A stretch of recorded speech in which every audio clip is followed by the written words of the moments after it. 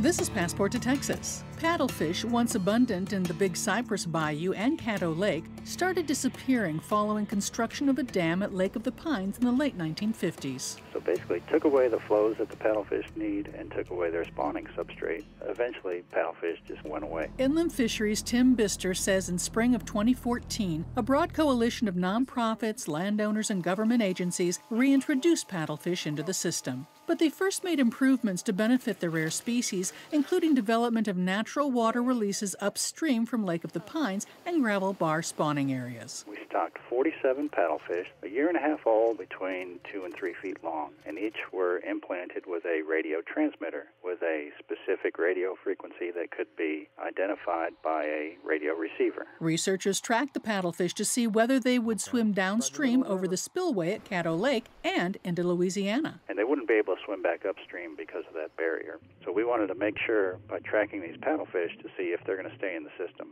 And after a year, I'm happy to say that no fish were seen going over the spillway. The radio transmitter batteries are fading, but the data collected so far is promising. Until the paddlefish reach reproductive maturity, we won't know if we'll see a self sustaining population in Big Cypress Bayou and Caddo Lake. The Wildlife and Sportfish Restoration Program supports our series. For Texas Parks and Wildlife, I'm Cecilia Nasti.